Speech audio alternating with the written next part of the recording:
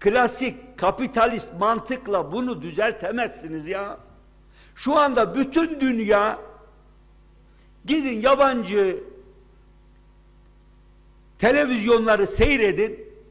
Borç meselesi herkesin bir numaralı meselesi. Amerika'nın da meselesi, Avrupa'nın da meselesi, Rusya'nın da Çin'in de kalkınmakta olan ülkelerinde. Çin bunların içinde biraz istisnai bir yer işgal ediyor.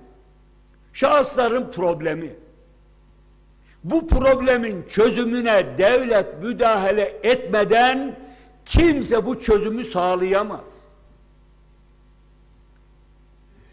Devlet müdahale edecek. Yani ben onun adına birçok kişi de aynı kelimeyi kullanıyor. Konsolide edecek borcu.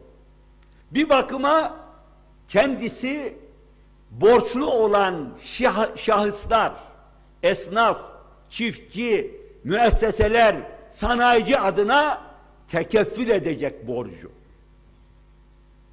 Başka türlü çözemezler.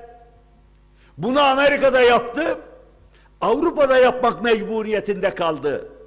Ancak geldikleri noktada bir ikilem var.